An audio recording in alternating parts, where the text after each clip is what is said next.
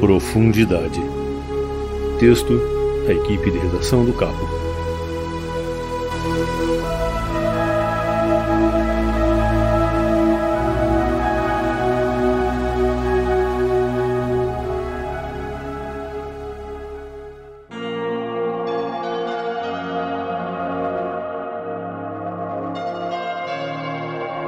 Quão profundamente você já se aventurou? Não, não falo de arriscar a vida num submersível, nem de mergulhar para pesca, lazer ou trabalho, mas de autoconhecimento. Temos uma diferença magnífica para com o mundo material que nos cerca. Após alguns metros, a luz do sol não atinge a quem submerge a um corpo d'água. Após alguns passos, a luz do sol não ilumina mais quem está no interior de uma caverna, qualquer que seja o seu tamanho.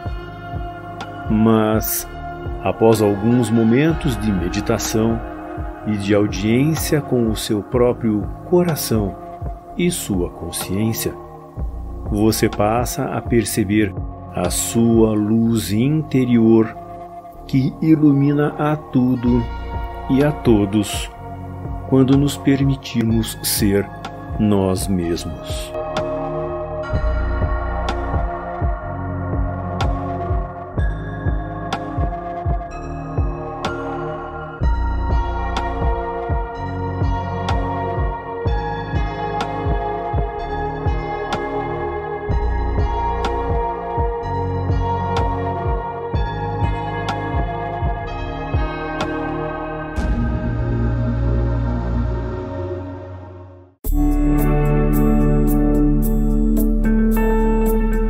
Se você gostou desse trabalho, inscreva-se, ative os sininhos de notificação, curta e compartilhe em suas redes.